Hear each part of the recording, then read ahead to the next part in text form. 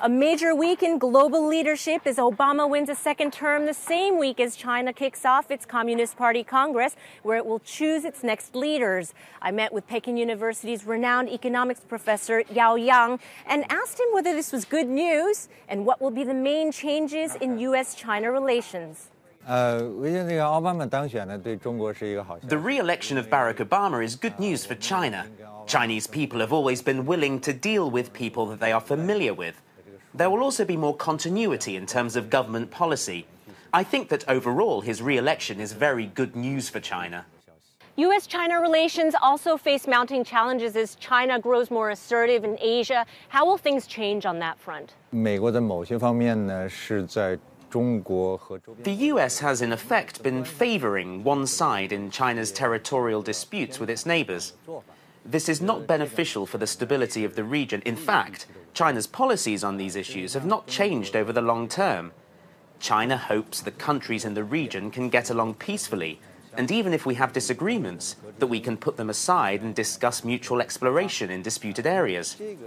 China will persist with this approach, and we hope that President Obama will understand our policy during his second term in office. Leading up to the elections, the Obama administration has been tough on China with anti dumping tariffs, solar panels, for example.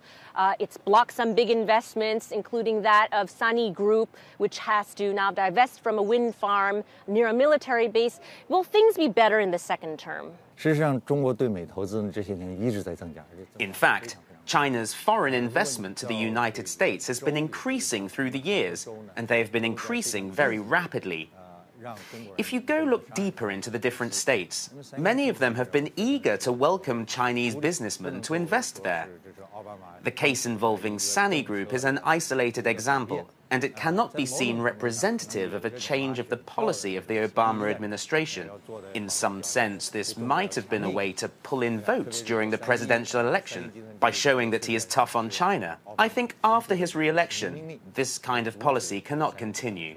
What stance do you expect China's new leadership to take with the U.S.? How will things be different? Uh, I feel that in the next 10 years, under the next generation of Chinese leaders, China's economic strength will increase dramatically. Even before 2020, China will overtake the United States and become the world's biggest economy. It will then not be acceptable internationally for anyone to say China cannot participate in international affairs because it does not have the adequate economic strength. I think China's new generation of leaders will have a greater say in international affairs and be more proactive in joining in to address common global issues. I feel this would be welcomed by the United States.